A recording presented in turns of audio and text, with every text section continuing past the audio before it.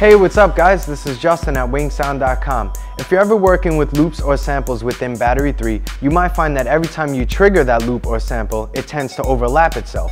In this video, I'll show you how to stop that overlap and every time you trigger that sample or loop, it'll start from the beginning. So let's check it out. Okay, so when working with loops in Battery and you hit the MIDI key that controls that loop, you start to get overlap happening. So let me play that for you real quick. Okay, so in order to stop that overlap, what you want to do is go to the setup tab, go to where it says voice group and choose a voice group that you haven't used or that you haven't made any changes to. So as you can see, now the maximum voice changed to 1 and the voice overlap changed to 10.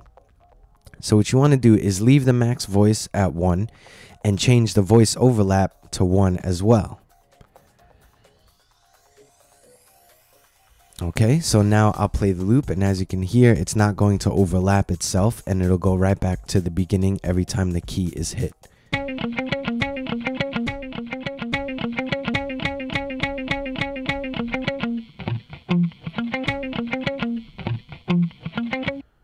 You can always get in touch with Justin at winksound.com and check out more of Justin's videos, including these titles featuring the new Pro Tools 8, now available on demand at winksound.com.